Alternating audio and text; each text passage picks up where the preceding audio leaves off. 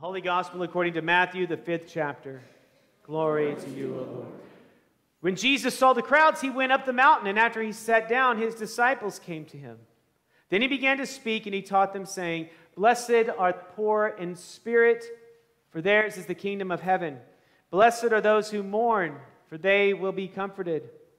Blessed are the meek, for they will inherit the earth. Blessed are those who hunger and thirst for righteousness, for they will be filled. Blessed are the merciful, for they will receive mercy. Blessed are the pure in heart, for they will see God. Blessed are the peacemakers, for they will be called children of God. Blessed are those who are persecuted for righteousness' sake, for theirs is the kingdom of heaven. And blessed are you when people revile you and persecute you and utter all kinds of evil against you falsely on my account. Rejoice and be glad, for your reward is great in heaven. For in the same way they persecuted the prophets who were before you the gospel of the Lord. Praise to you, O Christ. I invite you to be seated.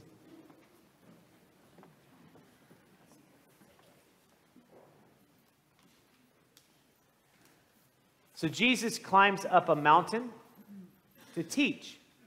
And uh, I think whenever I was growing up, I would always imagine that he'd be on this mountain, he's screaming down, Blessed are the peacemakers!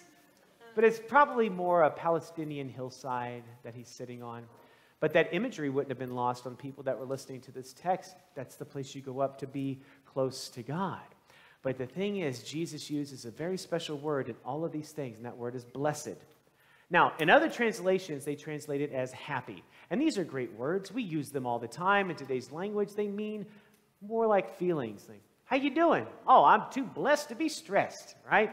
Uh, I'm, I'm blessed. How are you? Oh, I'm happy, yeah. Or we say things like, I just want my kids to be happy. I hope you have a happy marriage. You know, happy Thanksgiving, whatever. There's all kinds of ways that we use these words that are much more about our feelings. When Jesus is saying the word blessed, he's using the Greek word, I got to get it right, I'm going to say it wrong, makarios or makarios. You can look it up and tell me what's the right way of saying it later. Don't do it during the sermon. But Makarios, and this word is not only used in our Greek text of the New Testament, it was used in the Old Testament. And it was also used in secular writings around the time that, it, that this was written. And Makarios means close proximity to the divine. Isn't that cool? Blessed. Makarios. Close proximity to the divine.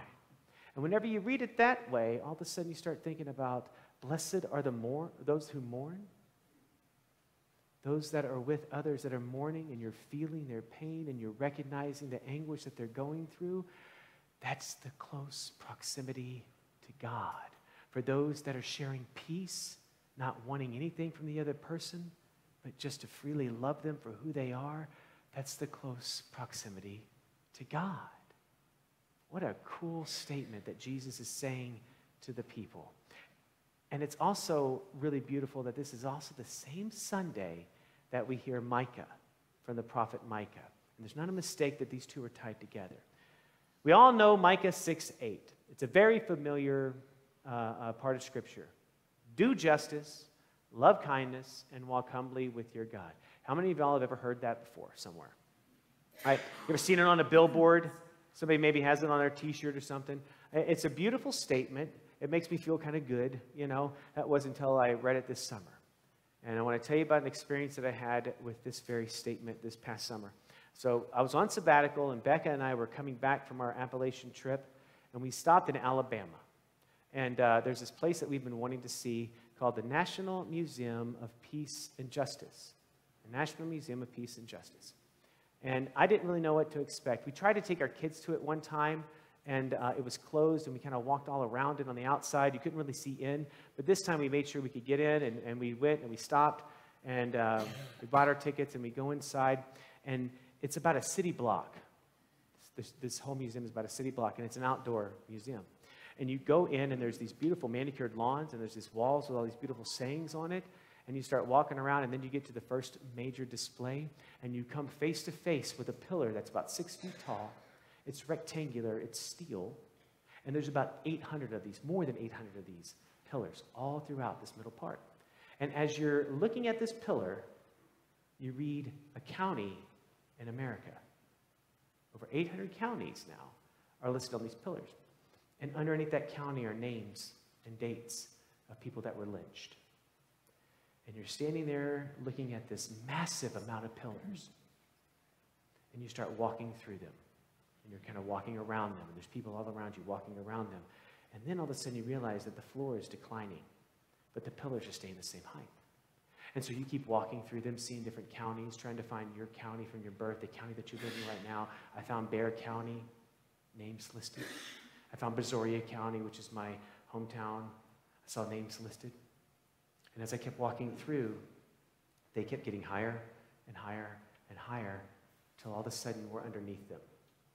And you're looking up at these pillars hanging above you with names of people that were lynched. It was absolutely moving, a very emotional thing. You keep walking around this lawn, and there are statues and there are artwork pieces depicting slavery, racial tension, freedom.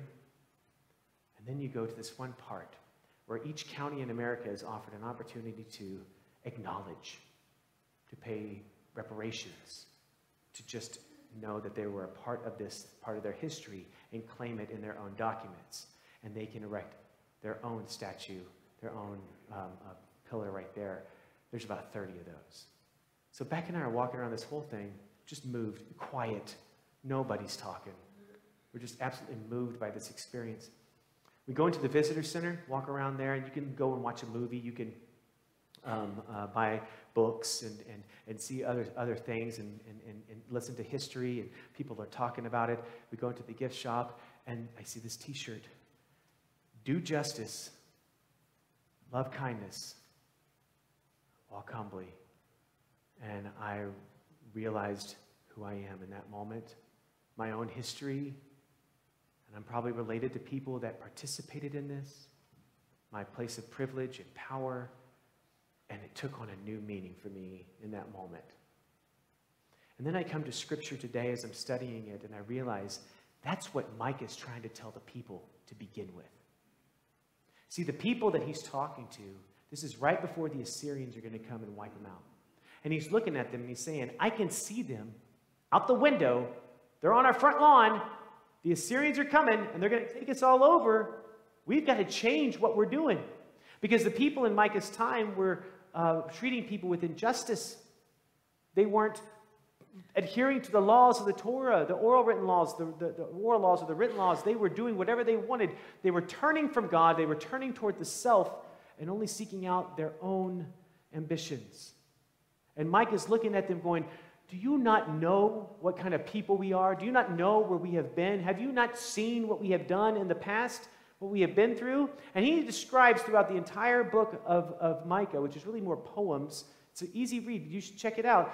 The, uh, uh, uh, he talks about their history, their shared history, how for generations people have turned away from God to turn towards self, to only find themselves in problems.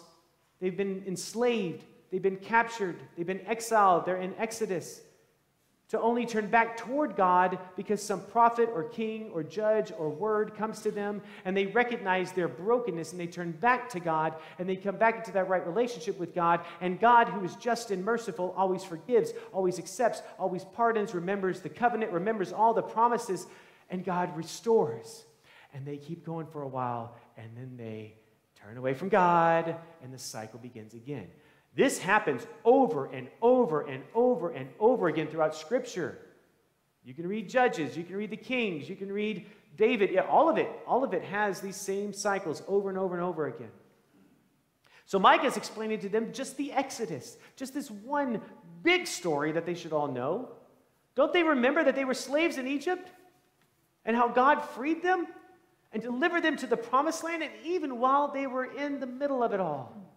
God forgave them. God provided for them. God did not relent. God remembered. God honored the promises, honored the covenant, and saw them into the promised land. So Micah looks at these people and says, What is God requiring of you? What does God ask? It's not, not even to be faithful. Do justice, love kindness, and walk humbly with God. Because God is not in that temple, God is not on that mountaintop. God is right here, calling us to do justice and love kindness. And when we are, we are walking humbly with God. When Jesus is on that mountain, I always thought that he was the one closest to God, like Moses.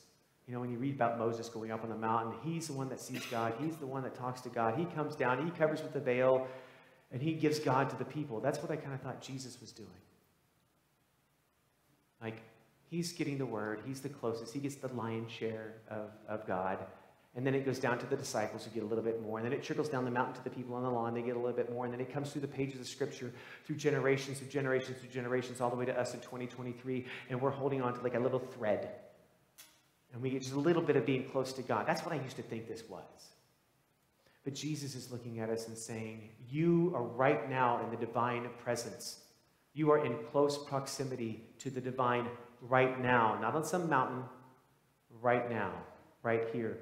You are blessed. What do we do with that? Well, if you're blessed, you're going to comfort those that are mourning, and you're going to experience the divine present. You're going to speak out for those that are oppressed. You're going to work for justice, which, by the way, is freeing the person that is oppressed and trying to free the oppressor at the same time. And, folks, that is not easy. Jesus is saying, You are blessed. Don't look up to the mountain to find God. God is right here. You are close to the divine presence right now, the closest proximity you could ever be. You are blessed. What are we going to do with this? Amen.